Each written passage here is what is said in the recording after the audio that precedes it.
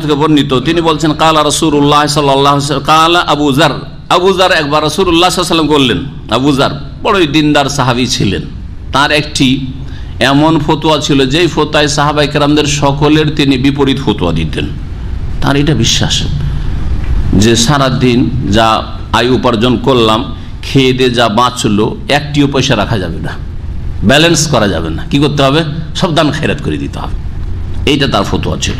অথচ কোরআন হাদিসের এটি ফতুয়া না তাহলে সাহাবাই কেরামদের ইজতিহাদে হ্যাঁ সবটাই ঠিক হতে পারে না ভুল হইতে পারে?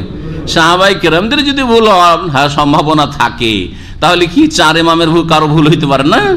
হ্যাঁ? না ভুল ধরলে বড় বিয়াদ হয়ে গেলেন হ্যাঁ? ভুল ধরার উদ্দেশ্য আপনাকে ভুল থেকে বাঁচানো। ভুল ধরার উদ্দেশ্য তাদের মানহানি করা না। জি। তাদের ছাত্ররা, ইমাম আবু হানিফ রাহিমের ছাত্র আবি ইউসুফ মোহাম্মদ হাজার হাজার মাসাইলে, অনেকের মতে দুই তৃতীয় অংশ মাসাইলে, অনেকের মতে এক তৃতীয় হ্যাঁ ওয়ান থার্ড মাসাইলে ওস্তাদের বিরোধিতা করেছেন।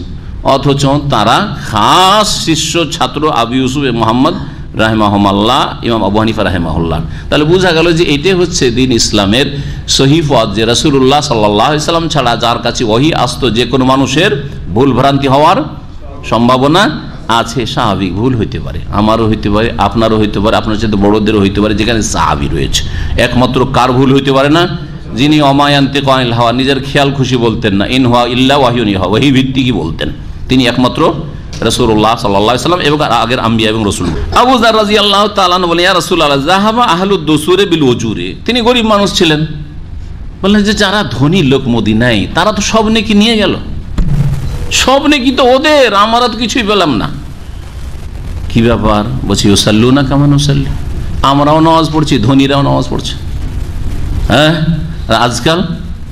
আজকাল নামাজ পড়বে? হ্যাঁ যার কাজকর্ম নেই। হ্যাঁ? যার বেশি টাকা পয়সার ঝামেলা নেই, যার বেশি হিসাব নিকাশ নেই, একেবারে ফিরি আছে, সে নামাজ পড়বে। হ্যাঁ? নামাজ পড়ে মধ্যম শ্রেণির অল্প কিছু লোক।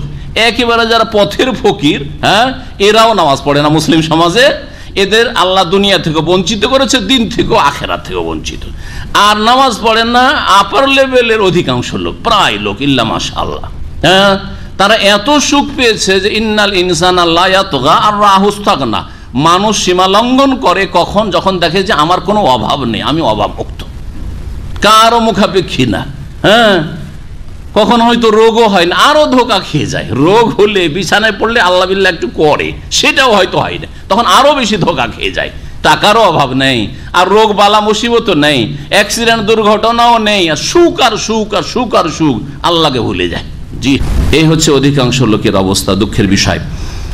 কিন্তু সাহাবাইকেরামরা যারা ধনী মানুষ, চারিদিক থেকে নাকি করছে। আর গরিব মানুষ তো চারিদিক থেকে করতে পারছে না, যতটা পারছে করছে। পয়সা নাই যে হ্যাঁ বেশি বেশি দান খেরাত করবে।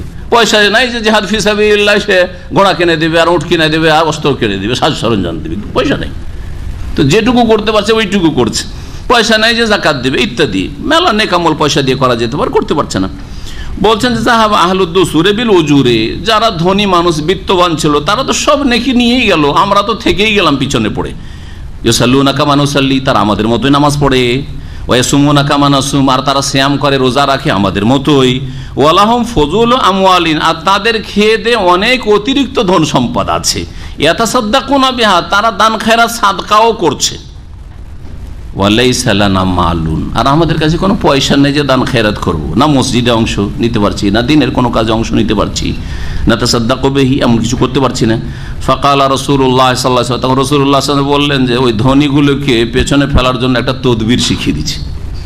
ধনীগুলোকে পেছনে ফেলার জন্য পয়সাতে তাদেরকে পিছিয়ে দিতে পারবে, তাদের থেকে এগিয়ে যেতে পারবে। কি? ইয়া বাজার ইয়া বুজার আলা ওয়াল্লে মোকা কেলেমা, তোমাকে কয়েকটা ওয়ার্ড শিখিয়ে দেবো কি? কয়েকটা শব্দ বা বাক্য শিখিয়ে দেবো কি? তুদরেকো বেহিন্না মান সাবা কাকা যারা তোমার থেকে এগিয়ে গেছে মনে করছ, তাদেরকে তুমি পেয়ে যাবে। মানে তাদের সঙ্গী হয়ে যেতে পারবে। ওয়ালাই আল্লাহ কোকা মান খালফাকা, তোমার পেছনে যারা আছে, তারা তোমার কাছেও যেতে পারবে না। তুমি অনেক অগ্রগামী হয়ে যাবে আমলের ক্ষেত্রে। ইল্লা মান আখাদা বেমিসলে আমালিকা, তবে তোমার মতো আবার যদি কেউ আমল করা শুরু করে, সেটা ভিন্ন ব্যাপার। হ্যাঁ তোমার মতো যদি আমল করা শুরু করে, তখন ব্যাপার আলাদা। তালা বালাই রাসুর আল্লাহ অবশ্যই শিখিয়ে দেন। তাহলে অন্তত ওই ধনীদের লাইনে থাকতে পারব, কাছাকাছি তো যেতে পারব বা সমান হইতে পারব। আল্লাহ রসুল্লাহ বললেন তোকাব্বের উল্লাহ আজ্জাওয়াজার দোবরা করলে সলাতিন সালাসিনে প্রত্যেক ফরজ সলাতের পরে, নামাজের পরে ৩৩ বার করে কি করবে? তাকবীর পাঠ করবে। আল্লাহ আকবার বলবে। প্রথম এখানে আল্লাহ আকবার এসছে। যদি অধিকাংশ হাদিসগুলিতে প্রথমে এসে সুবহান আল্লাহ তারপরে আলহামদুলিল্লাহ, তারপরে আল্লাহ আকবার, কিন্তু এইভাবে এসছে। সুতরাং জায়েজ আছে, কোনো অসুবিধা নেই, জায়েজ আছে। আগে পরে। সালাসিনে, আর তেত্রিশ বার কি করবে? আল্লাহ পাকের প্রশংসা পেশ করবে, আলহামদুলিল্লাহ বলি। অত সাব্যহু সালাসা সালাসিন, আর তসবির পবিত্রতা ঘোষণা করবে, আল্লাহ পাকের মহিমা ঘোষণা করবে, তসবির মাধ্যমে। সুবহান আল্লাহ বলে। কতবার? তেত্রিশ বার। ও কত হইল? তিন তেত্রিশ। নিরানব্বই হয়ে গেল। ও তাখতে মহা আর সমাপ্ত করবে বে, লা ইলাহা ইল্লাল্লাহু ওয়াহদাহু লা লাহুল তামামুল অন্য হাদিস রয়েছে 100 পূর্ণ করো, এই কালেমা তৌহিদ দিয়ে। আমল করেন না করেন না। চেষ্টা করবেন আমল এই আমলটি মোটামুটি আমাদের দেশে আছে। হাদিস সনান আবু দাউদে আছে, হাদিস হচ্ছে সহি। এর মাধ্যমে অনেক নেকি আপনি বাড়াইতে পারবেন। গরিব মানুষ, বেশি দান খায় করতে পারছেন না, অথবা কিছু পয়সা থাকলেও আপনার প্রয়োজন অনেক বেশি ফ্যামিলি বড়, সংসার অনেক বড়, অথবা ভাই বোনদের দেখাশোনা করতে হয়, এগুলো নেকির কাজ। বরং ভাই বোন আত্মীয় স্বজনকে দেখাশোনাতে যদি খরচ করেন, অন্য দূরের লোককে সাদকা করার তুলনায় দ্বিগুণ নেকি পাবেন আপনি। আজরুল সাদাকাতে ও আজরুল হ্যাঁ কারাবাতে নবী সাল বলেছেন একটা হচ্ছে সাদকার নেকি আর একটা হচ্ছে আত্মীয়তার সুসম্পর্ক যে মজবুত করলেন এর নেকি। আত্মীয়দের ওপর খরচ করলে দ্বিগুণ নেকি রয়েছে।